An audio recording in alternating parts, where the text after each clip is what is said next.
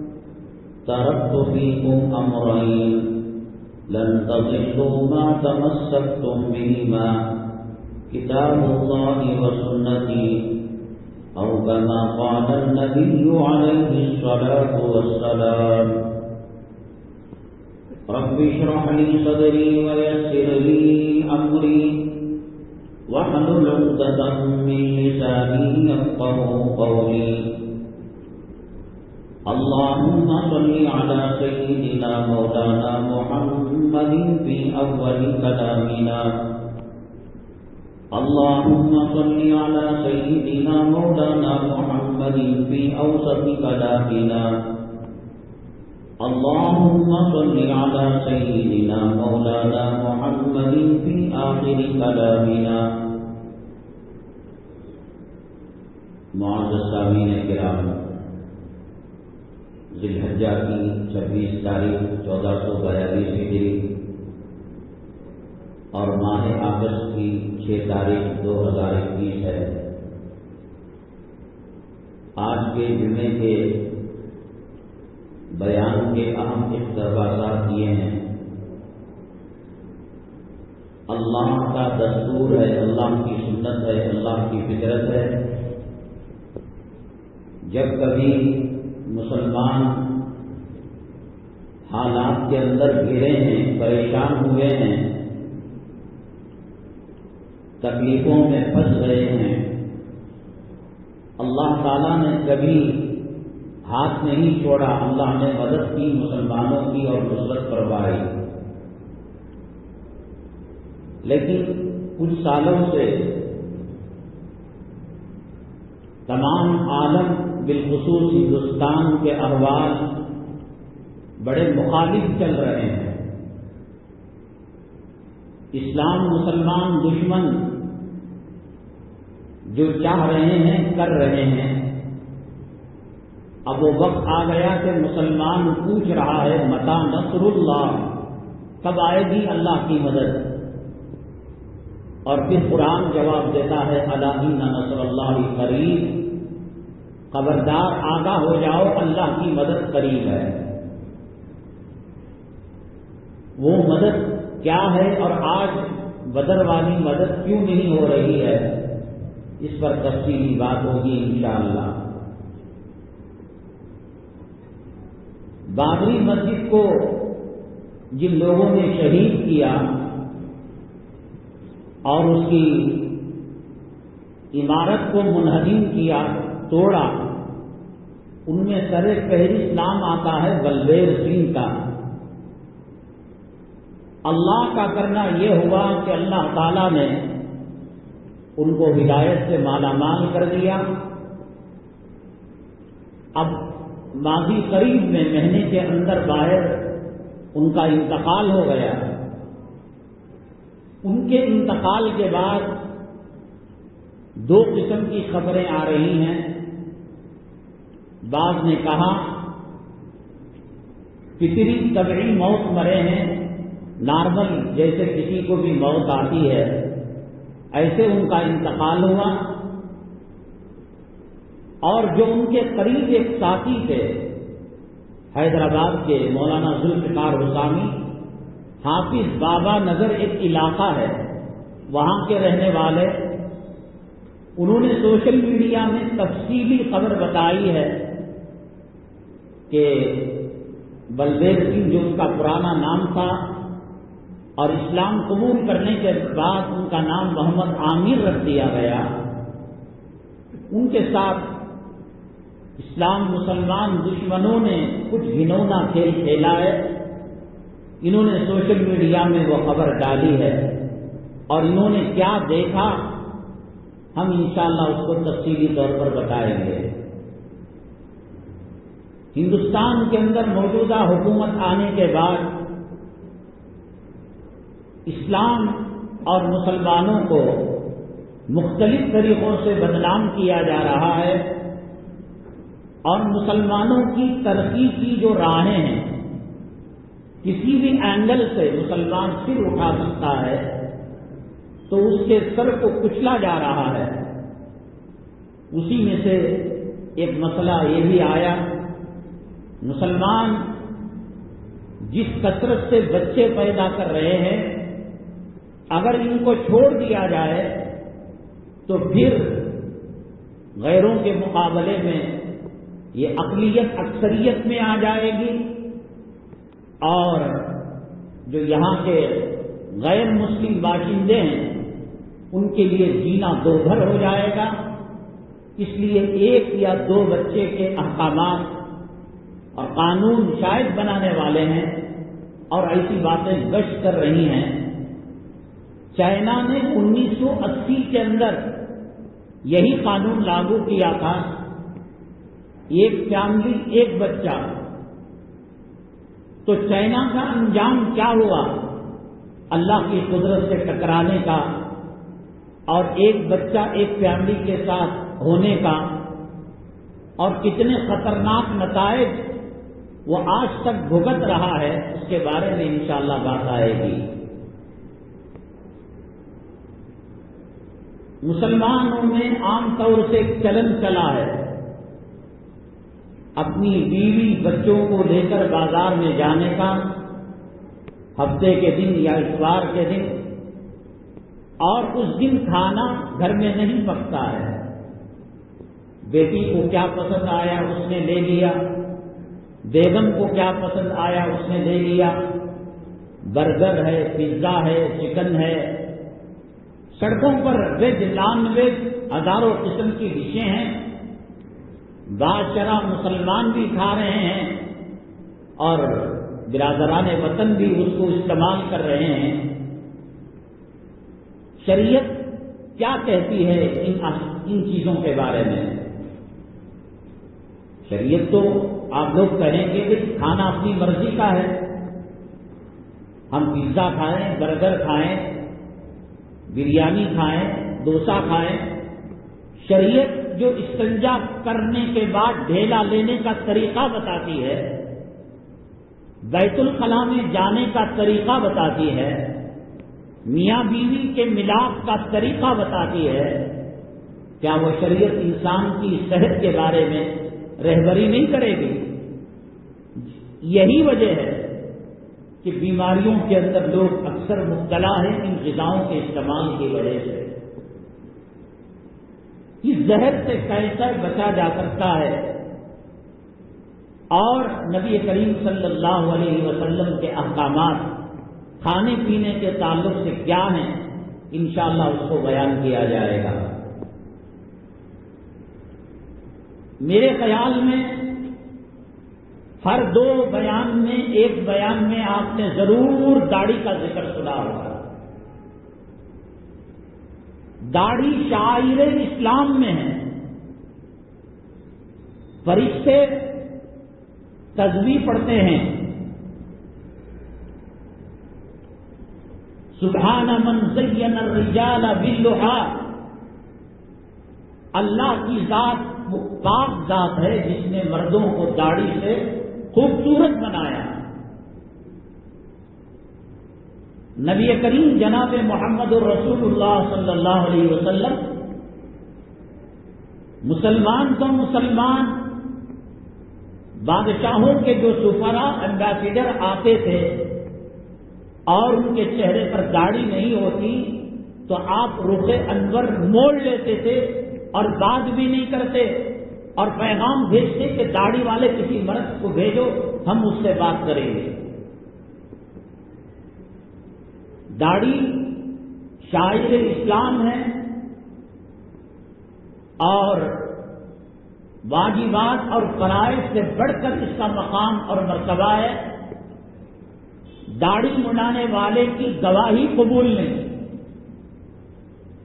महफिल निकाह में बैठे हैं काजी साहब पूछते हैं कि वकील और गवाह, मामों को लिख दो, दामाद को लिख दो बहनवी को लिख दो, नाराज़ हो जाएगा। अल्लाह की नाराज़गी देखी। ये मामू, ये दामाद, ये बहनवी ये साला, जिसका नाम दफ्तर निकाह में लिखा जा रहा है, उसको खुश करने के लिए, चेहरे पर उसने दाढ़ी भी रखी है। ऐसे दाढ़ी मुंडों से दुनिया भर जाए, ईद की चाँद की खबर, रमज़ान की आमद की कला ना हिलाल कमेटी कबूल कर सकती है और ना ही महफिल निकाह का वकील गवाह दाढ़ी मुंडे को बर्दाश्त कर सकता है। लेकिन अजीब बात यह है, जन्नत में मर्दों को दाढ़ी नहीं होगी। जब अल्लाह को इतनी ही पसंद है दाढ़ी, पैगंबरों की सुन्नत, सवालात पैगंबरों की सुन्नत है। बाद ने लिखा, रिवायतों में आता है, सिवाय सईदना आदम अला नबी सलाम उनको एक दाढ़ी जन्नत में होगी, घनी दाढ़ी होगी, सीने पर फैली हुई होगी, नूर चमक रहा होगा, और किसी की दाढ़ी नहीं होगी। अल्लाह की पसंदीदा चीज़, नबी की पसंदीदा चीज़ और मर्दानियत की निशानी, फरिश्तों की तस्वीर और जन्नत के अंदर मर्द को दाढ़ी नहीं क्या वजह है? इंशाल्लाह इस मसले का हल निकाला जाएगा। तरकीब के एतबार से पहला जो मरकजी उन्वान है कि इन हालात के अंदर अल्लाह की मदद जो बदर में नाजिल हुई ओहद में नाजिल हुई, अल्लाह ने कभी भी मुसलमानों का हाथ नहीं छोड़ा। हर हमेशा अल्लाह की सुन्नत, अल्लाह की फितरत रही है। अल्लाह तबारक ताला कुरान में वादा फरमाया, इन्ना लनन सुरु रुसुलना वल्लदीना आमनु।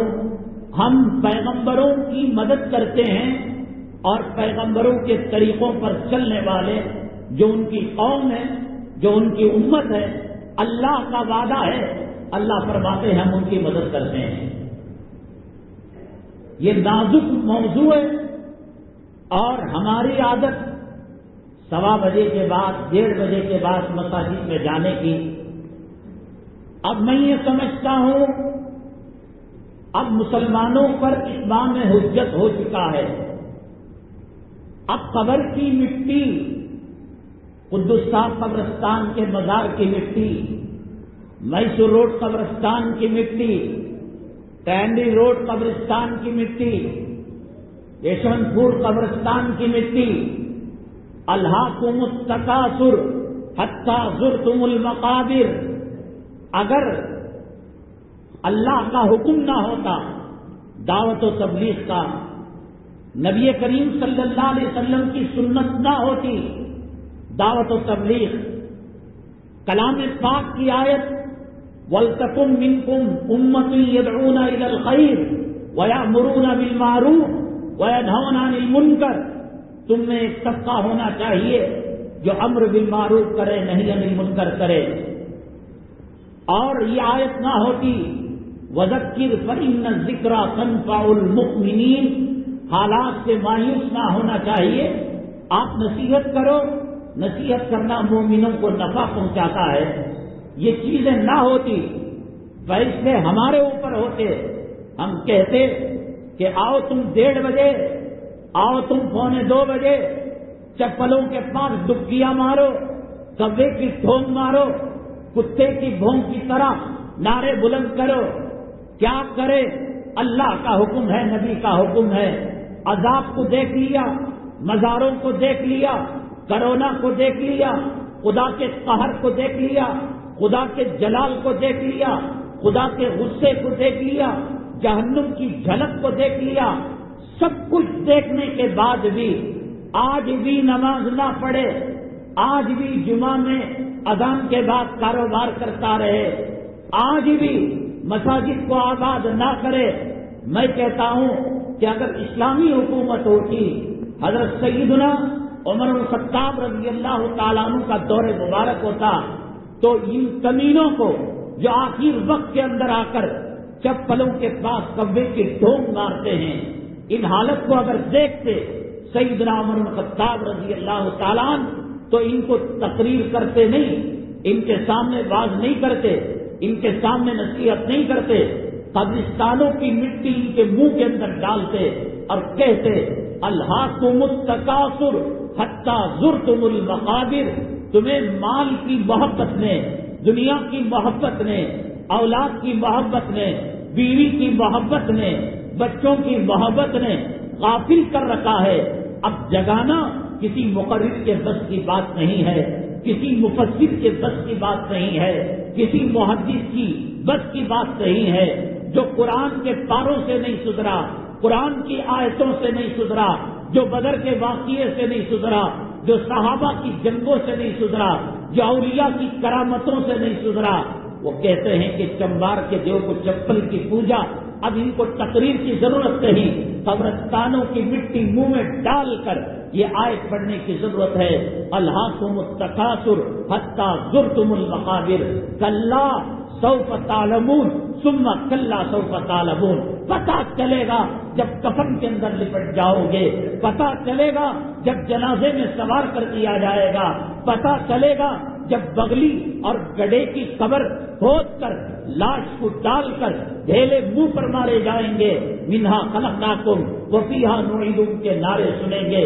सब कहोगे अल्लाह फई उदना फईना गालिबुन रबना अखरिजना मिना अल्लाह ये जहन्नम से निकाल दे ये अजाब से निकाल दे ये पकड़ से निकाल दे फई उदना फईना जालिमुन देखना एक सेकंड हम खामोश नहीं बैठेंगे तेरे हबीब पाक सल्लम का ज़रूर पढ़ेंगे कुरान पढ़ेंगे दीन का काम करेंगे आएगा ये वक्त और आ चुका है जिनको आना था कंधों पर जनाजों को लादा नहीं था आपने कपन में लिपटा हुआ मुर्दा आपने नहीं देखा। कब्रिस्तान के अंदर मिट्टी डालते हुए किसी कब्र के मंजर को नहीं देखा। हम बच जाएँगे, हम इससे महफूज हो जाएँगे। क्योंकि ये उन्वान बदर वाली मदद क्यों नहीं आ रही है? अहम है। अब ये वीआईपी लोग जहन्नम के वीआईपी लोग जो सवा बजे के बाद आते हैं, देर के बाद आते हैं, इनके पास जुमा की कोई अजमत नहीं जुमा की कोई कदर कीमत नहीं, दीन के बातों की कोई कदर कीमत नहीं। इंशाला इस ताल्लुक से चूँकि बात अहम है तो आखिर में इस उन्वान को रखा जाएगा। और दूसरी चीज़, हिंदुस्तान के हालात बाबरी मस्जिद को जिसने शहीद किया था बलदेव सिंह, अल्लाह तबारक ताला कुरान में फरमाया व इन ततवल्लो यस्तब्दिल कौमन गैरकुम सुम्मला यकूनो अमसालको माँ के पेट से, मुसलमान माँ के पेट से रहने बादल मुसलमान कलिमा दो बाप के नुस्खे से पैदा हुए हो। आज कुरान की कदर नहीं, आज नमाज़ की कदर नहीं, आज अजान की अजमत नहीं, आज मस्जिदों की अजमत नहीं। अल्लाह ने फरमाया, हो सके तो काम करो, अल्लाह का दीन तुम्हारा मोहताज नहीं है। वो जानवरों से काम ले लेगा, वो फरिश्तों से काम ले लेगा। अल्लाह ताला फरमाते हैं अल्लाह बेहतर जानता है कि अल्लाह का लश्कर कौन सा है, कब कहाँ किससे काम लेना गुलिस्ता जुमा आपने क्या नहीं सुना? गारे सौर के अंदर अल्लाह ने कबूतर के अंडों से काम ले लिया। गारे तौर के अंदर अल्लाह ने मकड़ी के जाले से काम ले लिया। अल्लाह तबारक ताला सुराखा जो नबी करीम वसल्लम के पीछे लगा था एक जलजले में तबाह कर सकता था, बर्बाद कर सकता था। कबूतर का अंडा नाजुक होता है। अल्लाह ने खुद कहा, मकड़ी का घर नाजुक होता है। वह इन्ना अवहनल बुयूती लबैतुल अनकबूत अल्लाह ये कहना चाहते हैं, हम बचाना चाहें, मकड़ी के जाले से बचा दें। हम बचाना चाहें, कबूतर के अंडे से बचा दें। और हम किसी को तबाह करना चाहें, बर्बाद करना चाहें कानून के पास खजाना था। खजाने समेत ज़मीन के अंदर कियामत तक धसता रहेगा। हामान की मौत कैसे हुई? शद्दाद की मौत कैसे हुई? फिरौन की मौत कैसे हुई? अबू लहब की मौत कैसे हुई? अल्लाह तबारक ताला ने ये नमूने बताए हैं कि किस तरीके से वो आज़ाद का शिकार हुए। उनके बेटे, अबू लहब के बेटे छूना गवारा नहीं करते थे। तो कोरोना में कहते हैं छूहो नहीं, वो लिबास पहनो सैनिटाइजर से हाथ धो, ये उस जमाने में अदस नाम की बीमारी, कोरोना का सैकड़ों दर्जे ज़्यादा कुत वाली बीमारी, अल्लाह ने अबू लहब को दे दिया। लंबी लंबी लकड़ियाँ लेकर बाप के लाश को, जैसे मरे हुए कुत्ते को ढकेला जाता है, सुअर को ढकेला जाता है, बदबूदार घूस मर जाती है, उसको ढकेला जाता है। अल्लाह ने बताया कि दुनिया के अंदर जो चौदह हट कायम किए हुए था और मक्का मुकरमा और अरब ममालिक के सुप्रीम कोर्ट का सुप्रीम जज था। ये और अबू जहल, एक वक्त वो आया, अल्लाह तबारक ताला उसके बेटों के ज़रिए से उसकी सड़ी लाश को गड़े के अंदर डाल दिया और बचाना चाहा अल्लाह तबारक ताला ने। हज़रत मूसा सलाम को उसी समंदर में बचाया, बनु इसराइल को उसी समंदर में बचाया। उसी जगह अल्लाह तबारक ताला ने फिर को गर्क किया और फिर को नेस्त नाबूद किया। अगले लोगों के लिए निशानी के तौर पर साढ़े तीन हज़ार साल तक फिर की लाश समंदरों के मौजों में खेल, खेलती रही, उछलती रही। अल्लाह तबारक ताला बतौर निशानी के उस लाश को बाकी रखा। आज भी मिस्र के म्यूज़ियम के अंदर फिर की लाश मौजूद है। गुरूर ना करो, कुरान हमारे पास है। गुरूर ना करो, नबी की तालीमत हमारे पास है। गुरूर ना करो मक्के मुकरमा हमारे पास है, मदीन तयबा हमारे पास है। अल्लाह तबारक ताला अगर कोई आदमी बुखार आ जाए, डॉक्टर के पास जाए, टैबलेट लेकर रख ले, इंजेक्शन लेकर रख ले, इस्तेमाल ना करे, क्या वो मरीज़ सही हो सकता है? हरगिज नहीं। वो मर जाएगा। मौत के मुँह में चला जाएगा। कुरान रख रहे हो, इस्तेमाल नहीं करते। हदीस रख रहे हो, इस्तेमाल नहीं करते। अल्लाह तबारक ताला फरमाते हैं, अगर यही रविश तुम्हारी रही, यहूदी औरतों के पेट से इस्लाम के कादिम को पैदा करेंगे। नसारा, ईसाई, इस्लाम मुसलमान, दुश्मन, काफिर और मुशरक औरतों के पेट से इस्लाम के नौनिहालों को पैदा करेंगे। नबी करीम सल्लल्लाहु अलैहि वसल्लम के खादिमों को पैदा करवाएगा। गुरूर ना करो, ये गुरूर तुम्हें तबाह करके रख देगा, बर्बाद करके रख देगा। कौन जानता था बलदेव सिंह, जिसने सबसे पहले बाबरी मस्जिद के गुंबद पर कुल्हाड़ी चलाई, सबसे पहले वो मस्जिद के ऊपर चढ़कर मस्जिद को शिगाब किया, मस्जिद के अंदर दड़ाट पैदा की। अल्लाह ने कहा अ ऐ बेनमाजियों, ऐ दाढ़ी मुड़ो ऐ नबी के गद्दारों, ऐ इस्लाम के दुश्मनों, ऐ कुरान के दुश्मनों, अगर तुमसे इस्लाम की खिदमत नहीं हो सकती, मस्जिद की खिदमत नहीं हो सकती, यतीमों की खिदमत नहीं हो सकती, बाबरी मस्जिद के कातिल को हम हिदायत देकर हम उसे सिरात मुस्तकीम पर चलाएँगे। अल्लाह ने जब हिदायत दी, उसने कहा कि मेरे से बहुत बड़ा गुनाह हो गया। मैं ज़िंदगी के अंदर सौ मस्जिदें तामीर करूँगा। आज एक झोपड़ा आप और मिलकर नहीं बना सकते। एक छोटी सी ज़मीन के लिए बड़े बड़े सेठों के पैर पड़ने पड़ते हैं। उनके कदमों को चूमना पड़ता है। सौ मस्जिदों के अंदर इक्यानवे मस्जिद नाइन्टी वन मस्जिद, बाबरी मस्जिद को कत्ल करने वाला, गुंबद पर कुल्हाड़ी चढ़ाने वाला, अल्लाह ने काम लिया, ऐसा काम लिया कि इसके हाथ पर हज़ारों लोग मुसलमान हो गए।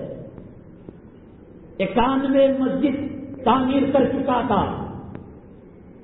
कुछ लोगों ने कहा, अब ये यहाँ की पोस्टमार्टम रिपोर्ट और यहाँ के हॉस्पिटल और यहाँ के तहकीकी एजेंसियाँ, वो क्या कहती हैं, वो अल्लाह बेहतर जाने। हकीकत मौलाना जुल्फिकार साहब उसामी जो हाफिज बाबा नगर में रहते हैं, उन्होंने कहा कि एक जगह थी जिस पर गंडा था, पहाड़ था, पत्थर था। किसी ने कहा कि आप अपने वादे को पूरा करने के लिए एक मस्जिद हमसे संभाली नहीं जाती। कभी प्यान का तकाजा कभी इमामों की तनख्वाह का तकाजा, कभी पानी की कमी का तकाजा, कभी कुछ कभी कुछ। इक्यानवे मस्जिद, अभी नौ मस्जिदें बाकी थी। इस्लाम मुसलमान दुश्मन कैसे बर्दाश्त कर सकता था?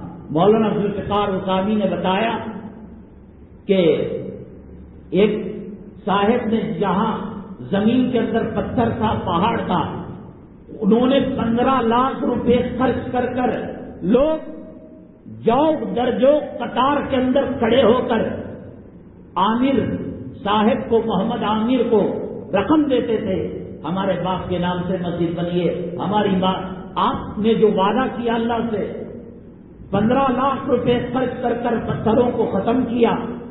इस्लाम मुसलमान, मौलाना जुल्फिकार साहब, कोई तहकीकी या कोई एजेंसी के मालिक नहीं, मौलाना है।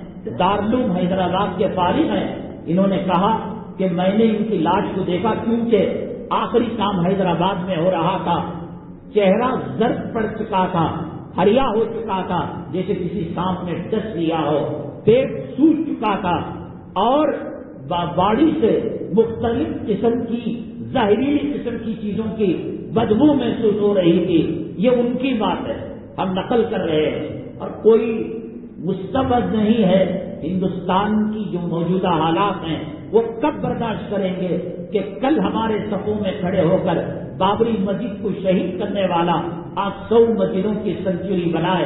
हो सकता है अब रिपोर्ट एजेंसियों के हाथ में है। वो क्या कहते हैं, क्या नहीं कहते? अल्लाह बेहतर जानता है। हम यही अल्लाह से दुआ करेंगे। अल्लाह तबारक ताला इनके ईमान लाने को, इस्लाम कबूल करने को कबूल फरमाए और इनके हाथ के अंदर जितने लोग मुसलमान हुए, अल्लाह तबारक ताला उनको इस्तकामत नसीब फरमाए। अल्लाह तबारक ताला उनके घर के बारिश के ज़रिए से उनकी जो तमन्ना थी, सौ मसाजिद तामीर करने की, उनमें नौ मस्जिदें बाकी थी, अल्लाह ये तमन्ना पूरी फरमाए, करवट करवट राहत नसीब फरमाए, जीना हमारा भी है, ज़िंदगी गुजारनी हमारी भी है, सुबह में जोड़ों की खिदमत, औलाद की खिदमत, घर की खिदमत, नहार पेट उठकर सबसे पहले घर का जो तामीरी काम हो रहा है, बालू बराबर है क्या? लोहा बराबर है क्या? ईट बराबर है क्या? थम्बी बराबर है क्या? मिस्त्री आ रहा नहीं आ रहा है। दुख है लालत है इनकी ज़िंदगी पर। खुदा क्या इसलिए ज़िंदगी दिया था कि मकानों के पीछे पड़े रहे, दुकानों के पीछे पड़े रहे।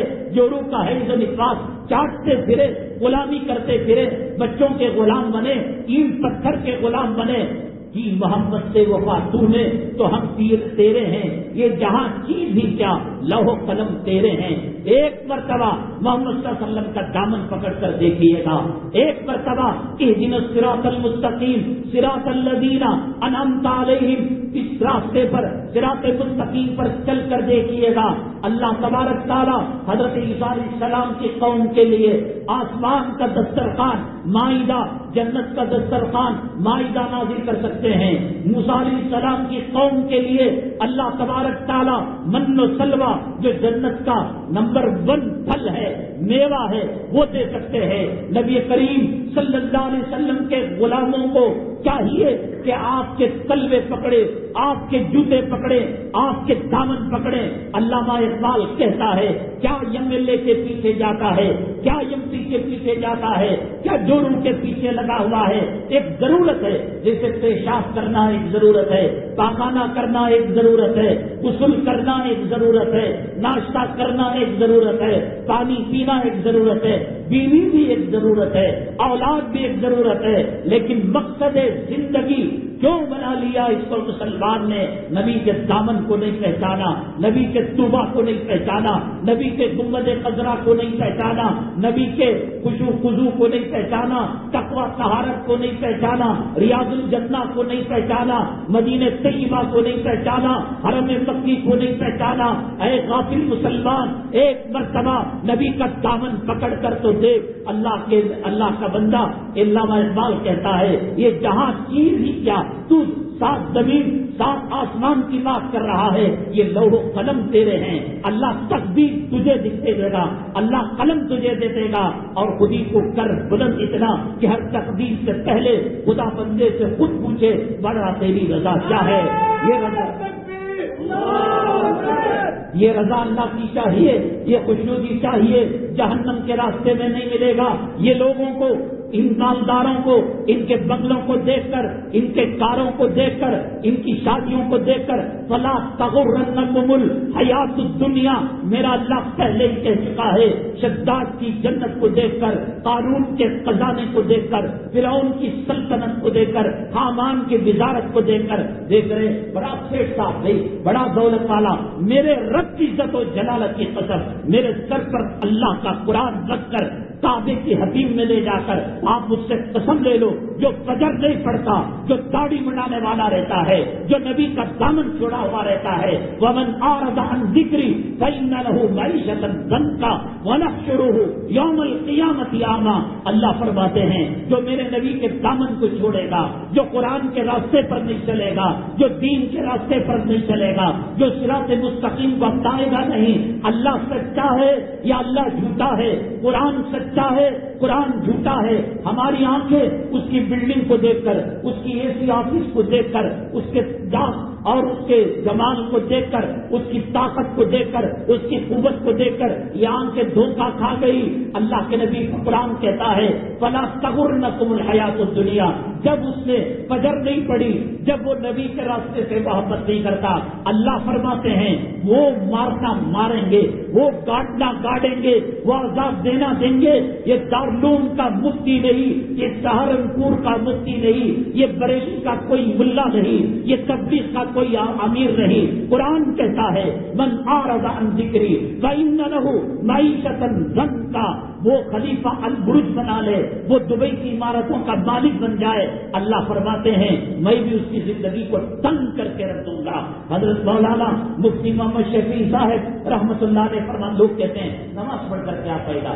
सुकून है, इत्मीनान है, राहत है, जन्नत के मज़े आ रहे हैं, सज्जे की हलावत मिल रही है, तिलावत का मज़ा आ रहा है। एक मर्द, एक औरत को देखे और कहे कि मुझे कुछ नहीं होता। इसकी मर्दानियत के अंदर गड़बड़ है। ये हिजड़ा है। एक भूखा खाने को देखे, कहा, मेरी तबीयत चाहती नहीं। इसकी तबीयत खराब है। इसे कैंसर है। इसे एड्स है। इसकी ख्वाहिशात, इसके दिमाग पर पर्दा पड़ चुका है। और एक मुसलमान जन्नत के रास्ते को देखे। एक मुसलमान मस्जिद के माहौल को देखे, एक मुसलमान नबी के सीरत को देखे, एक मुसलमान औलिया के हिकायतों को सुने और कहे, मुझे कुछ नहीं होता, वो हिजड़े से बदतर है अल्लाह तबारक ताला मुफ्ती शफी साहब रहमत फरमाते हैं, इस आयत के तर्जुमे में मैं भी देख लेता हूँ। हज़रत ने कहा, आयत का मकसद और मतलब ये है, अल्लाह कहते हैं, बेटे दाढ़ी मुंडाकर कब तक बचता रहेगा? जुमा में लेट आकर कब तक बचता रहेगा? औरत की गुलामी कर कर कब तक बचता रहेगा? दौलत की पूजा कर कर कब तक बचता रहेगा? फ़िल्म में काम करने वालों की नक्काली कर कर कब तक बचता रहेगा? मैं भी तेरी ज़िंदगी को तंग ना करूँ। मैं भी रब नहीं, मन आरजान जिक्री कहीं न रहू मीशतन जन का अल्लाह फरमाते हैं, हम उसकी ज़िंदगी को तंग कर कर रख देंगे वना शुरू यौमल कियाम। धोखे में नहीं आना, ये बेनमाजी अच्छा है। उसके चड्डी में कितने छेद हैं, आपको क्या पता? उसकी बीवी की क्या परेशानी है, कौन सी बीमारी है, किसे चैटिंग करती है, किसे व्हाट्सएप करती है, किसे कॉल करती है, बेटियों के अंदर कितनी मरतबा, क्या पता? बिल्डिंगों को देखकर, बुरुज अल खलीफा को देखकर, आसमान से बातें करने वाली इमारतों को देखकर फला तगुरन्नकुमुल हयातुद दुनिया। अल्लाह कहते हैं, ये दुनियावी जीनत और ये दुनियावी ज़िंदगी तुझे धोखे में ना डाले। फला तगुरन्नकुमुल हयातुद दुनिया। ये अपने गम को मिटाने के लिए पैसा खर्च कर रहा है। अल्लाह कहते हैं, सुकून यहाँ है नमाज़ में। अल्लाह बेजिक्रिल्ला ही तत्मीनुल कुलूब। गाफिल माल में सुकून नहीं है, दौलत में सुकून नहीं है, बिल्डिंगों में सुकून नहीं है, बीवी में सुकून नहीं है, दुनियादार बच्चों में सुकून नहीं है प्रॉपर्टी में सुकून नहीं है। अल्लाह अजाब के अंदर लगा देगा। ये बेटी का नाम ज़मीन, ये बेटे का नाम ज़मीन। जो अभी मर्यादी हाथ का एक बाल बिला हुआ। अभी दो बाल खुले हुए हैं। ना नमाज़ की परवाह, ना रोज़े की परवाह। अल्लाह लगा देते मर तेरे बेटे, मर। इंश्योरेंस का डर है टैक्स का डर है इनकम टैक्स के छापे का डर है। क्या पता, बिल्डिंग को देखकर धोखे आ रहे हो? शद्दाद की जन्नत, सुनी आपने? कौन सी चीज़ बाकी रखी थी? ये जो हिंदुस्तान के अंदर मुगलिया, तैमूर, इन्होंने हुकूमतें की। इनके किले हैं आगरा के अंदर, फतेहपुर सिकरी के अंदर, दिल्ली के अंदर, राजस्थान के अंदर। पूछो, इन किलों में बसने वाला राजा कहाँ है? भाड़े के माटी केक के घर में अम्मा के साथ छत्तीस मरतबा बलात्कार कर कर जिना कर कर टूटता, हमारा पूरा घर मिलाए तो उनका आधा तो कुछ भी बैतुल खला भी नहीं होता। वो बैतुल खला कई जो है मीलों के अंदर फैला हुआ खुशबूदार। उन्होंने बना पूछो इन किलों से, ताजमहल से पूछो, कौन था बनाने वाला? वो जवाब देगा, मेरे तहखाने में जाओ, शाहजहां या ज़मीन के अंदर पड़ा हुआ है। पूछो किसकी याद में बनाया गया? शाहजहां की बीवी की याद में बनाया गया। कहाँ है वो? शाहजहां के बगल के अंदर वो पड़ी हुई है। बनाने वाले के बगल के अंदर वो पड़ी हुई है। पूछो इन किलों से। पूछो बीजापुर के किलों से। बीडीए का घर लेकर, सिलम का कोटरस लेकर एक जनाजा नहीं निकलता। इतना गुरूर बड़े बड़े किले बनाए। आज वैराने हैं। कोई वहाँ पर घर आबाद करने के लिए तैयार नहीं। कोई रहने के लिए तैयार नहीं। क्या सोचकर बनाया था अल्लाह को मालूम? कितनी उनकी बेबियाँ बीवियाँ थी। लखनऊ के अंदर जो भूल भुलैया है, पैदा करो, ऐसा कोई इंजीनियर, ऐसा कोई साइंस वाला, ऐसा कोई टेक्नोलॉजी वाला, मैं मान लूँ तुम्हारी इंजीनियरिंग को कि जैसे भूल भुलैया बनाया है, ऐसा बनाकर तो दिखा दो। पता ही नहीं लगता, आदमी कहाँ जा रहा है, कहाँ कहाँ गया बनाने वाला? जाओ कब्रस्तान के अंदर पूछो लाल किला बनाने वाला कहा है? ताजमहल बनाने वाला कहा है? राजस्थान के बड़े बड़े किले बनाने वाला कहा है? बचने के ऐसे सामान रखे थे कि आगरा के फोर्ट किले से दिल्ली तक सुरंग, वो भी घूस वाली सुरंग नहीं तीन चार घोड़े वाली लंबी लंबी सुरंगें बनाई थी। कुल्लू नफसिन जाई कतुल मौत। अल्लाह ने कहा, मौत का मज़ा तो तुझे भी चखना है बेटे। झोपड़ी वाले को भी चखना है, बिल्डिंग वाले को भी चखना है, किराएदार वाले को भी चखना है, मालिक मकान को भी चखना है, दाढ़ी वाले को भी चखना है, दाढ़ी मुड़े को भी चखना है, हलाल खाने वाले को भी चखना है, हराम खोर को भी चखना है। जाओ, पूछो, अगर ये बातें झूठी हैं, क्यों नहीं आबाद हैं? बीजापुर के अंदर एक किला है ज़मीन पर मारो, कोई पैगाम दो, टेलीग्राम की तरह जैसे कट कट कट पैगाम बादशाह तक जाता है। पहले टेलीग्राम होता था, जब मोबाइल नहीं था, वो नाम नहीं था घरों में तो टेलीग्राम आज भी वो काम कर रहा है। हज़ारों फौजी उनके जानो माल की हिफाजत करने वाले, न फौजी रहा, न जिसकी हिफाजत करते थे वो रहा। कुरान कहता है, या युहन्नास जुरीबा मसल फस्तमिउला। ऐ लोगों, हम तुम्हें एक मिसाल बयान करते हैं। इन नल्लजीन तदऊन मिन दूनिल्लाह, लन यखलुकू जुबाबा, जिसकी तुम अल्लाह को छोड़कर ताकतवर समझते हो, ईश्वर समझते हो, दाता समझते हो, सती समझते हो, बड़ा समझते हो तदोन मिंदोनिल्ला लई यखलुकू जुबाबा, इनसे कहो, एक मक्खी पैदा कर कर दे। एक मच्छर पैदा करें। ये किसी को कहो, कमिश्नर को कहो, गवर्नर को कहो, चीफ मिनिस्टर को कहो, फिर कुरान कहता है, लहू पत्ताली वो वल मतलूब चमचागिरी करने वाला भी कमज़ोर है और जिसकी चमचागिरी की जा रही है, वो भी कमज़ोर है। जऊ कुरान की आयत है। इन लदीन सजून भाग। अल्लाह तबारक ताला दूसरों को पैदा कर कर दूसरे से काम देगा।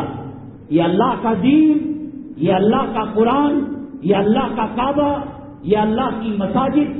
तेरे मेरे सज्जों के मसा कितने आए मर कर चले गए। लाइट ऑन है, पंखा जल रहा है बजर की अजाने तेरे जाने से कुछ नहीं बदला। सूरज निकलता था, निकल रहा है। कियामत तक निकलेगा जब तक अल्लाह का हुक्म होगा। तेरे जाने के बाद चालीस दिन नहीं गुजरे, बेगम कहने लगी कि मेरी इज़्ज़त क्या पूरी नहीं हुई? कहा कि नहीं, चार महीने, दस दिन, अंगलियों पर गिनकर कहा कि मेरा रिश्ता बेटों को कहा के लगा दो।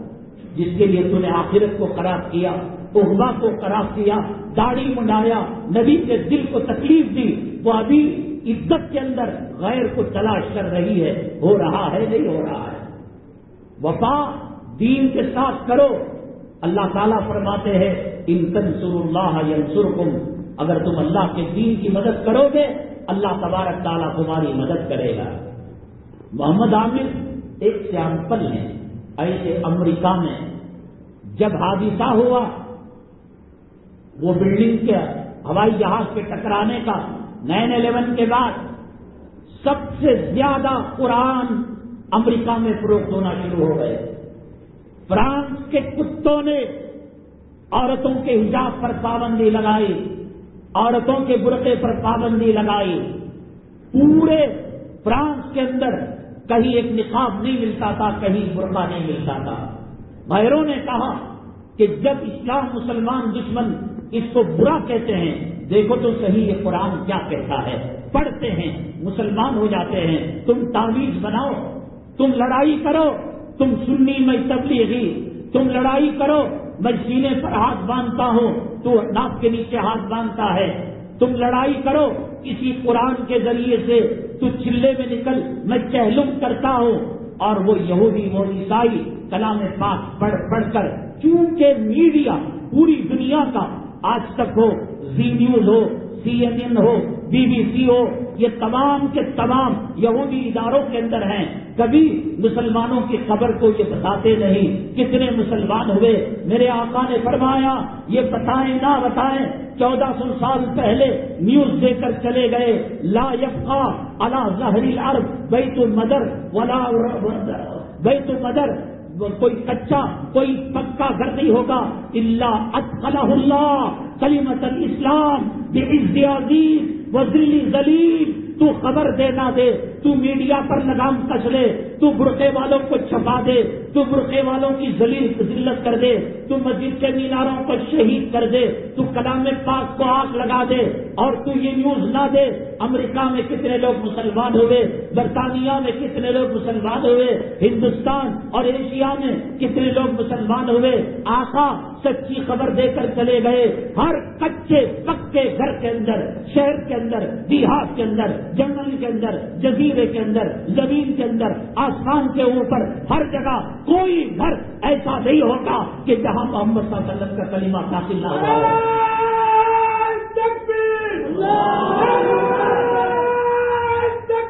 मानना है, इज़्ज़त के साथ मान लो। आज अजान देकर तशरीफ़ लाइए, कहकर बुलाया जा रहा है। हयाल सलाह हयाल फलाह। आजा नमाज़ की तरफ़ आजा कामयाबी की तरफ़। असला तो खैर मिनन्नौम देख, अल्लाह के बंदे अच्छा नहीं लगता, सोना इज़्ज़त से बुलाया जा रहा है।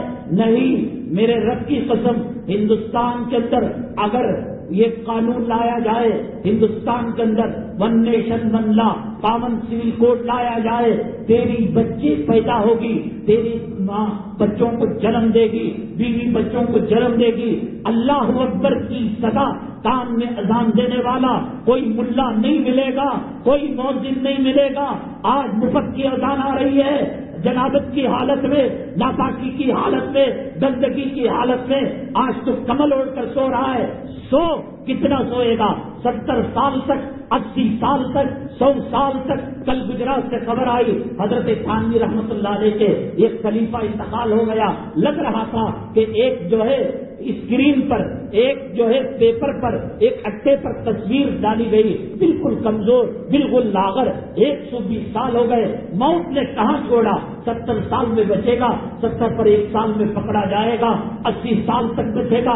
बता तो सही, कोई केमिकल कोई इंजेक्शन कोई दवाई या हज़रत खिजर को पूछ कर आबे हयात भी कर तो दिखा, मौतें होनी है, कबर में जाना है। सीरियस ये मामला, कबर का मामला आसान नहीं। तूने डायलॉग समझ लिया मौलवी की बात को कि शाम फन मारता है और मुद्दा सत्तर गज अंदर चला जाता है। मच्छर से डस कर तो देख ले शहद की मक्की से डंग मार कर देख ले, एक बिच्छू को अपने जिसम पर रख कर देख ले।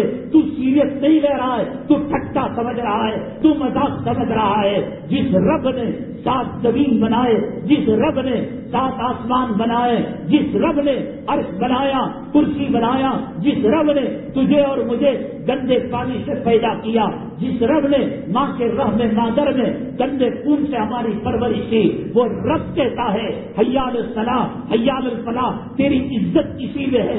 आज से तू नमाज़ शुरू कर ले, आज तू सलाह तू तौबा पढ़ ले, आज तू दाढ़ी रख ले, तेरी जोरू काम नहीं आने की, मेरे से लिख कर रख लेना।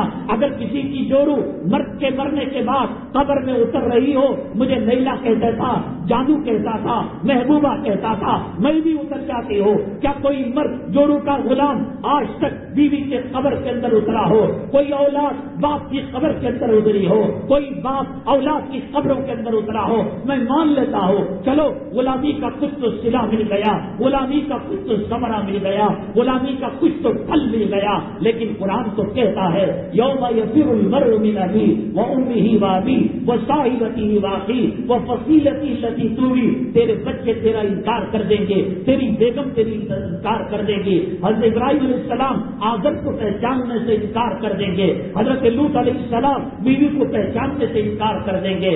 हज़रत मूसा सलाम अपने खानदान के बनु इसराइल के काफिरों को पहचानने से इनकार कर देंगे। हज़रत नू सलाम अपने बेटे को पहचानने से इनकार कर देंगे। कौन से रास्ते पर जा रहा है? टीवी का रास्ता, फ़िल्म का रास्ता, क्रिकेट का रास्ता, वॉलीबॉल का रास्ता जुबे का रास्ता, सट्टे का रास्ता, सूद का रास्ता, चिटफंड का रास्ता, दौलत का रास्ता, ज़मीन के कारोबार का रास्ता। तेरी और मेरी माँ की पेट में मेरे रब ने लिख दिया है कि कितनी साँसें हमको लेना है। मेरे रब ने लिख दिया है, कितनी रोटियाँ खाना है। मेरे रब ने लिख दिया है, कितना खाना खाना है। मेरे रब ने हवाओं में पानी के अंदर नाम लिख दिया है। मनकुल मौत के बाप की मजाल नहीं कि वक्त पहले आकर वो हमारे जो है गला दबा दे, हमारी रूह अस्त कर सके, वो नहीं कर सकते। और किसी के बाप की मजाल नहीं कि जब वक्त खत्म हो रहा हो तो फिर वो एक सांस दे सके, ज़िंदगी का एक पल दे सके। तेरी मरती जोरों को तो नहीं दे दुनिया में सिविल कोर्ट में कोई केस हार जाता है, हाई कोर्ट जाता है।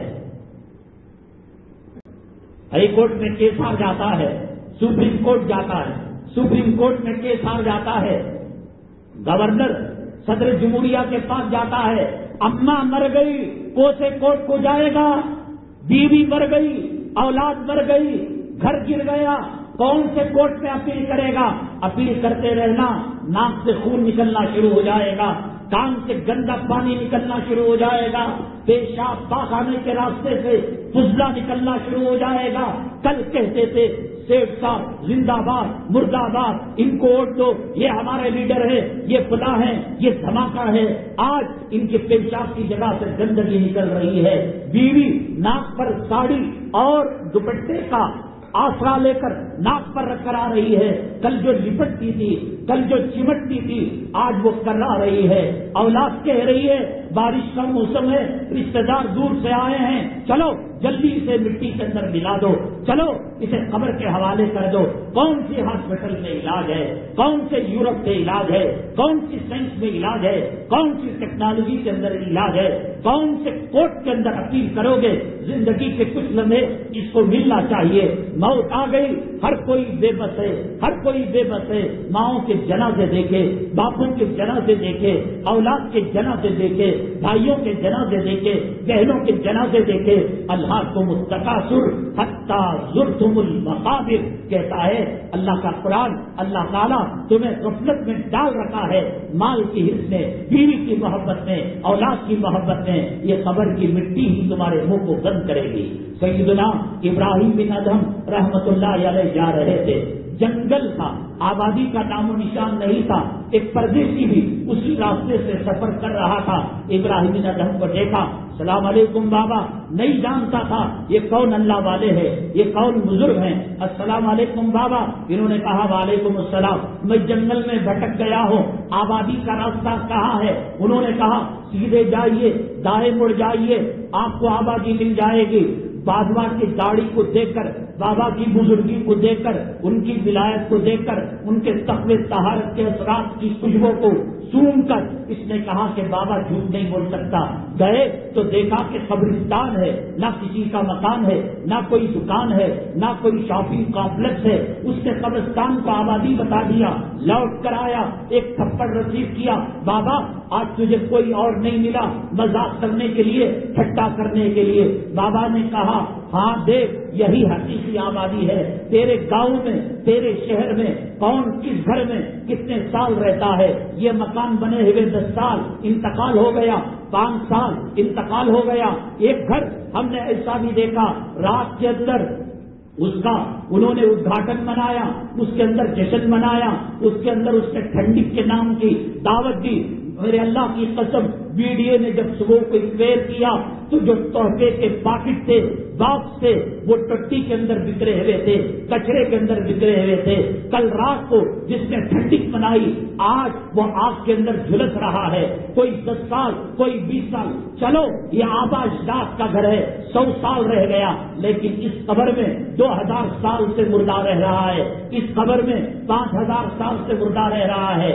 मैं अयोध्या गया बाबरी मस्जिद, हज़रत शीश सलाम की कबर के बारे में लोगों ने कहा, मैं जब कबर के पास गया अल्लाह आलम, वो सच है या झूठ है, हमने निशानी के तौर पर रकम देकर रसीद भी ले ली ताकि लोगों को बताए। हज़रत शीश सलाम, हज़रत आदम सलाम के बाप के पैगंबर हैं। हज़ारों हज़ारों साल हो गए तो इसका मतलब ये ये कब्रिस्तान के अंदर हज़ारों साल से ये पैगंबर रह रहे हैं, इनके मानने वाले रह रहे हैं, मेरा तेरा बाप, मेरी तेरी माँ, मेरे तेरे असातिजा, टीचर, सेठ, कितना किस मकान के अंदर रहता है।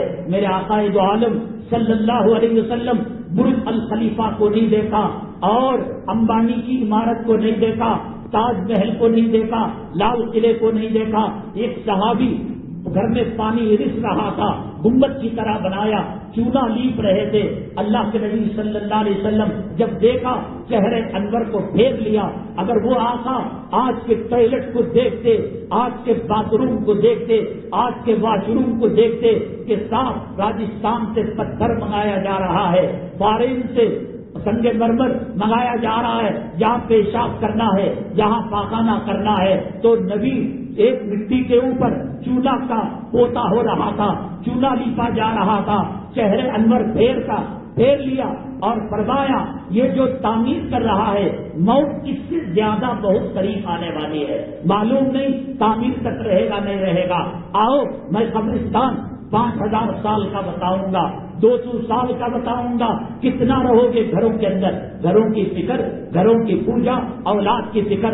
अपनी मिट्टी में जा, मैं कहता हूँ, कबर में शाम भी ना हो, कबर में बिच्छू भी ना हो, कबर के अंदर पसिया भी ना मिले। अल्लाह सिर्फ़ ये कर दे कि कबर में हमको ज़िंदा कर दे। आदमी तो होश आवाज़ के साथ रहता है। हदी से पास में अल्लाह के नबी वसल्लम ने फरमाया नेकोकार मौता होती है, वो कहती है सद्दी बोनी सद्दी बोनी मुझे जल्दी ले चलो, मुझे अपने रब से मिलने दो, मुझे हूरों से, गिलवानों से मिलने दो। मेरे कबर के अंदर जन्नत की खिड़की खुलने वाली है। कदमोनी ले चलो ले चलो। और जो बुरा मुर्दा होता है, वो कहता है, कहाँ जा रहे हो? मैंने तुम्हारे साथ वफा की। मैंने जोड़ों को रेशम पहनाया, मैंने सोना पहनाया, मैंने चांदी पहनाया, मैं बीडीए का मकान दिया मैं अपार्टमेंट का मकान दिया मैं लोगों की आँखों के अंदर धूल झोंक कर धोखा देकर, मक्कारी कर कर कहा मुझे ले जा रहे हो? मेरी बीवी से बदला लेने दो। तो मालूम हुआ कि रूह निकलने के बाद भी मुर्गा बोलता भी है मुर्गा सुनता भी है। तो अगर कब्र के अंदर सांप ना हो, बिच्छू ना हो, सिर्फ़ उस तारीख गड़े के अंदर अल्लाह तबारक ताला बगैर सांप के, बगैर बिच्छू के रख दे, कितने दिन रहोगे? कितने घंटे रहोगे? वहाँ टीवी नहीं मिलेगी, वहाँ एलईडी नहीं मिलेगी, वहाँ एलसीडी नहीं मिलेगी। वहाँ मोबाइल नहीं मिलेगा, वहाँ एंड्रॉइड फ़ोन नहीं मिलेगा, वहाँ कोई चल कब तक रहोगे? घर के कमरे को बंद कर कर रात की तन्हाई में अम्मावास की रात में लाइट बंद कर दो, खिड़कियाँ बंद कर दो, दरवाजे बंद कर दो। सोचो मेरी खबर है, कितना तुम बर्दाश्त करोगे? है ताकत, है कुवत, है दाढ़ी बनाने वाले, है माँ बाप के नाफरमान, है हराम खोर, है सूद खाकर, माँ का बलात्कार करने वाले, है रिश्वत खाकर, पेट के अंदर जहन्नम का लहू पीने वाले, है कोई ऐसा ताकत, है कोई ऐसी सही सी ईजाद, है कोई ऐसी तरक्की जो कबर को कुछ ना हो। खबर तो कहती है, मैं तन्हाई का घर हूँ, मैं कीड़ों का घर हूँ, मैं वहशत का घर हूँ, वो छोड़कर खाली ऐसे ही लुटा दिया जाए, कितने घंटे बर्दाश्त करेगा, कितने दिन बर्दाश्त करेगा। हज़ारों हज़ारों साल हज़रत शीख अली सलाम हज़रत आदम के बाप के नबी हैं। बेरहाल अल्लाह तबारक ताला मोहम्मद आमिर से काम ले लिया। अगर तुम समझते हो, मैं बहुत गौर फ़िक्र करने लगा। जब कुर्बानी के मसाइल आए तो उसके अंदर पहली शर्त लिखी थी कि कुर्बानी मुसलमान करेगा। क्या ज़रूरत है हिंदू कहीं कुर्बानी करता है, ईसाई कहीं कुर्बानी करता है, यहूदी कहीं कुर्बानी करता है नसरानी कहीं कुर्बानी करता क्यों लगाए ये फुकाहा? इस्लाम की शर्त। अब समझ में आया, जो दाढ़ी मुंडाकर नबी के मुँह पर थूके क्या उसका इस्लाम बाकी रहता है? जो अल्लाह के घर को वैरान करे, जो कुरान का ठट्टा करे, जो नबी की सुन्नतों का ठट्टा करे, जो पगड़ी का ठट्टा करे, जो उलमा की पगड़ियाँ उछाले, जो मदारिस की तोहीन करे, मुसलमान कब रहता है? मुझे तो डर होता है, यहाँ मिंबर पर दुआ की जाती है अल्लाह मंसुर मन नसर नसरदीन मोहम्मद सल्लाम वजह अल्लाह मिनो अल्लाह, दीन मोहम्मद की हामियों की मदद फरमा और हमारा शुमार उनमें फरमा। वक्त जुल मन फ़सल दीना मोहम्मदीन सल्लल्लाहु अलैहि वसल्लम, या रब्बी बला सजा बाहो अल्लाह, जलील कर दे, तबाह कर दे, बर्बाद कर दे, जिन्होंने दीन का नक्शा खराब किया, जिन्होंने चेहरों से दाढ़ी निकाली, दीन का नक्शा खराब किया या अच्छा किया, जिन्होंने गैरों के दामन पकड़कर मुस्लिम पर पर्सनल्ला में मुदाखलत की, तलाक का मसला लेकर आए तीन सौ सत्तर का मसला लेकर आए, नाम नब्बे का मसला लेकर आए, वन नेशन, वन लॉ का मसला लेकर आए, क्या वो मुसलमान बाकी रह सकता है? कलाम पाक की छह हज़ार छह सौ छियासठ आयतें दूर की बात अलहमदू में अली पर जो जबर है, उस जबर का कोई इंकार करेगा। और कलाम पाक की छह हज़ार छह सौ छियासठ आयतें जबर जेर सूरत, मंजिलों को मानेगा। अलहमदो, अली जबर आ उसके ऊपर जो जबर है, इनकार करेगा, वो काफिर है। इस्लाम से उसका कोई ताल्लुक नहीं। ना उसकी नमाज़ कबूल है। हम तो कितने चीज़ों का हयात सलाह का इनकार कर रहे हैं अकीम सलाह का इनकार कर रहे हैं आतुल जका का इनकार कर रहे हैं। कोली मुबीन यबुजू औरतों के पर्दे का इनकार कर रहे हैं, दाढ़ी का इनकार कर रहे हैं, नमाज़ का इनकार कर रहे हैं। एक जबर के इनकार से, नबी के एक तरीके के इनकार से आदमी काफिर हो जाता है। इसीलिए उन्होंने शर्त लगाई है। बाज़ार के अंदर जो गजाएँ मिलती है, देखो सबसे बड़ी बात यह है, जब हम माँ के पेट से जन्म लेते हैं तो हम इसके मालिक नहीं हैं। इसीलिए मुसलमान आम दान नहीं कर सकता। जिसम का कोई अजू किडनी है, दूसरी चीज़ें हैं किसी को बचाने के लिए बीवी को दे रहा है साफ़ को दे रहा है, उस्ताद को दे रहा है ग्रोथ नहीं कर रहा है, वो अलग मसला है। लेकिन इंसान अपने आजा का मालिक नहीं, अल्लाह की दी हुई अमानत है। ये अमानत जैसे दी हम माँ के पेट से आए आँख भी सही थी, दिल भी सही था, गुर्दे भी सही थे, फेफड़ा भी सही था, खून और रक्त सब सही थे इसको खराब करेंगे। जैसे अल्लाह तबारक ताला की कुदरत से टक्कर लेने का जो अंजाम होगा, वही अंजाम इसका भी होगा। बीड़ी पीकर सिगरेट पीकर, गुटखा खाकर, नशा कर कर अगर कोई मर जाता है और बीवी बेवा हो जाती है, औलाद यतीम हो जाती है तो उसका जिम्मेदार ये है। लोग कहेंगे कि मौत देने वाला अल्लाह है तो फिर किसी को भी कत्ल कर दो और कहो कि मौत देने वाला अल्लाह है। दुनिया दारुल असबाब है, हम अगर अपनी सेहत खराब करेंगे, बाजारों के अंदर जो चीज़ें, पिज्जा, बर्गर, ये फास्ट फ़ूड वगैरह, जो बच्चों के नाश्ते में उठाओ बीवी को फजर की नमाज़ पढ़े तहजुद पढ़े, पाँच, चार बजकर छप्पन मिनट पर तहजुद का वक्त खत्म होता है। साढ़े चार में भी उठेगी, इधर तहजुद मिलेगी, इधर फजर मिलेगी और उधर इशराक मिलेगी। कड़ाओ इशराक, उसकी गुलामी क्यों कर रहे हो? और वो काम उठाकर सो जाएगी और बाज़ार की चीज़ें खरीद कर दोगे।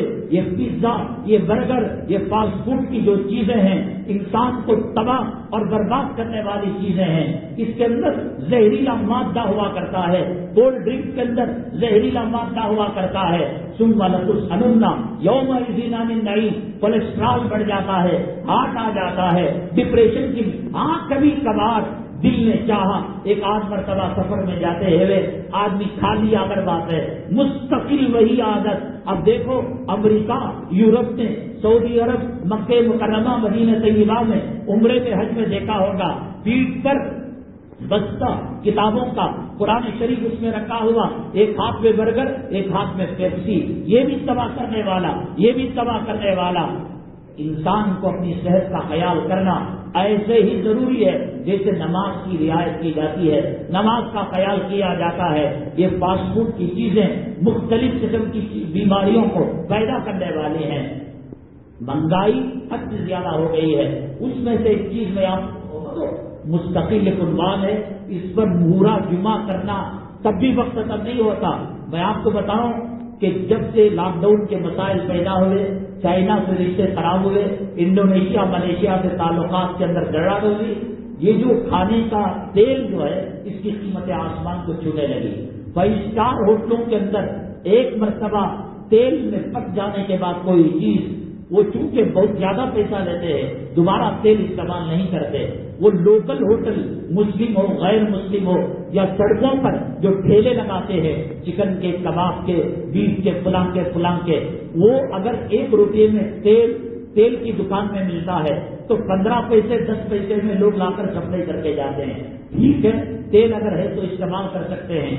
स्टार होटलों में सभी स्टार होटलों में खिंजीर पकाया जाता है। वो कढ़ाई के अंदर जो कब्जीर डालता है, खिंजीर को पकाने के लिए वही कढ़ाई के अंदर भी डालता है। खिंजीर नजीसुल ऐन जानवर है, उसके असरात तेल में आएँगे। फिर ये लोग सस्ते के चक्कर में, अगर वाकईतन असली डालडा ले असली तेल ले, आपको ये कीमत पर बिरयानी नहीं मिल सकती, कबाब नहीं मिल सकता। ये उनके फेंके हुए चीज़ें, जैसे चाय की दुकान में पत्ती फेंकी जाती है तो ये फेंकते नहीं है, उसे खरीदार खरीद कर एसेंस देकर, खुशबू देकर, रंग देकर कम कीमत के अंदर फरोख्त करते हैं। फ़ूड का जो कलर होता है, वो कैंसर पैदा करता है। बहरहाल, इससे अल्लाह हमारी हिफाजत फरमाए, हमारे पास उन्वानात और बाकी हैं, और बदर वाली मदद, वो अभी बाकी है, बहुत अहम उन्वान है। हम पिछले जुमा का जो सवाल था, उसका जवाब देकर हम आगे बढ़ेंगे। मैंने कहा कि जब दाढ़ी मर्दाना शाम और शौकत की अलामत है फिर दाढ़ी की इतनी इज़्ज़त करता था, हर बाल के अंदर हीरे जवाहरात को पुरो कर उसको वो रखता था, वो समझता था कि मर्दों जन्नत में दाढ़ी नहीं होगी। असल मसला यह है, हर मुल्क का अपना अलग कानून होता है। यहाँ का रुपया आप सऊदी में नहीं चला सकते। सऊदी का रियाल आप कतर में नहीं चला सकते। सऊदी का रियाल यूरोप में नहीं चला सकते। अमेरिका का डॉलर हिंदुस्तान में जाकर चिल्लर दुकान, वहाँ का माहौल, वहाँ का सिचुएशन अगर किसी इंसान को दुनिया में दाढ़ी ना आए तो वो मलून नहीं, मजबूरी है उसकी। वहाँ दाढ़ी ही नहीं आती, इसलिए उनकी पकड़ झकड़ नहीं। जैसे अगर दाढ़ी रखकर बुलाता है जन्नत में कोई तो कसूरवार होगा। अल्लाह उनको ऐसे ही असीम पैदा करेंगे। इसके अलावा नमाज़ अल्लाह के नबी वसल्लम फरमाते हैं, मेरे आँखों की ठंडक है, नमाज़ का मकाम क्या, रोज़े का मकाम क्या, जक़ात का मकाम क्या, हज का मकाम क्या, उम्र का मकाम क्या क्या ये सब चीज़ें जन्नत के अंदर मिलेंगी आपको? नमाज़ पढ़ेंगे आप, रोजा रखेंगे आप, रमज़ान आएगा। अल्लाह को कितनी, जैसे दाढ़ी पसंद है, रमज़ान भी पसंद है, जैसे दाढ़ी पसंद है, नमाज़ भी पसंद है तो जैसे नमाज़ रोजा नहीं, वैसे दाढ़ी भी अल्लाह ताला ने कह दिया कि ढील है, इसके अंदर हम पैदा ही इसको ऐसा करेंगे कि चेहरे पर दाढ़ी नहीं होगी, वहाँ ये चीज़ काबिल हुसन होगी। और जैसे औरत जो है बिंदिया लगाती है, साउथ इंडिया में अगर कोई लगाए, हम समझते इसका कलिमा मिट गया, ये हिंदू धर्म वाली है। नॉर्थ इंडिया वाले बिंदिया लगाते हैं और टीका लगाते हैं, ये उनके हुसूल की अलामत है। एरिया एरिया से ख्यालात और कल्चर तहजीब बदल जाता है, जन्नत के माहौल में। वो अच्छा लगता है, जैसे नमाज़ रोजा में, ये भी नहीं है। हज़रत इजर सलाम ज़िंदा है। आब हयात को इन्होंने पिया हुआ है। अल्लाह के नबी वसल्लम ने फरमाया, इस वक्त धरती पर जो लोग हैं, पूरी दुनिया में, सौ साल के अंदर इनका एक आदमी भी बाकी नहीं रहेगा। सवाल ये कि खिजर अली सलाम क्यों चौदह सौ साल गुजर जाने के बावजूद अब भी हयात है? अल्लाह के नबी वसल्लम ने कहा, सौ साल में एक नफस भी बाकी नहीं रहेगा। हज़रत खिजर सलाम है।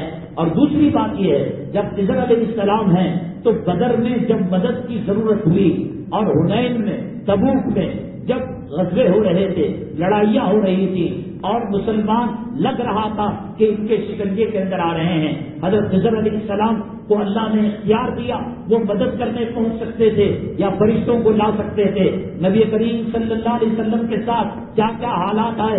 क्यों खजर अली सलाम नबी से मिले नहीं, नबी की मदद नहीं की, बदर में मदद नहीं की?